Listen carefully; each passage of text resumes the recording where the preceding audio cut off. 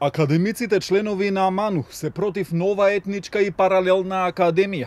Иако за сега оттаму нема официјален став по најавите за формирање на Албанска академија на науките и уметностите, а новиот председател на МАНУ не беше достапен за коментар, поранешниот председател академик Таки Фити за Канал 5 вели дека ова е став на најголемиот број академици со кои се консултирал. Нема случај во светот да постојат две национални академии. Секогаш постои една национална академија и во Република Македонија, тоа е Македонската академија на науките и уметностите, формирана со посебен закон, лек специалис. Не јас секој е против инволвирање на некакви етнички принципи при формирање на академија или постоење на паралелни академии. Меѓутоа, национална академија не може да се формира врз база на етничка припадност или со инволвирање на политички партии и политика воопшто тука. Во Ману има академици албанци меѓу редовните членови и дописните, вели Фити споменувајќи ги Абази, Беджети и Зекири, кои се дел на одделенијата за обштествени и технички науки.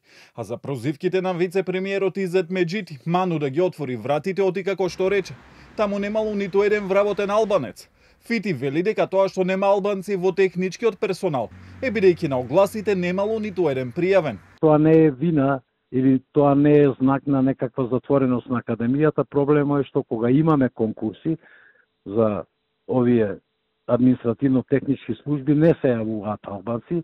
Исто така не ни се јавија албанци кога имаме конкурси за научни соработници во академијата. Причината за тоа е, предпоставувам, неатрактивните ниските плати кои што постојат во МАНУ. Имаме проблеми со пријавување на македонци. Канал 5 побара стафи од академик Абдулменав Беджети, кој не одговори поради отсуство од земјава.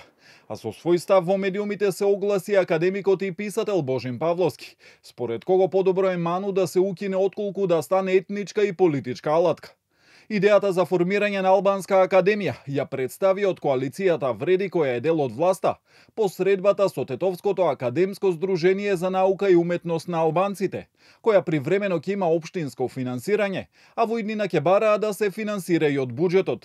Инаку станува збор за здружение на граѓани кое е основано во февруари 2022 Го има законскиот минимум од 5 члена, а председател е Хасан Јашари, професор на Универзитетот на Југоисточна Европа во Тетово и поранешен заменик министер за образование од ПДП во 90-тите години.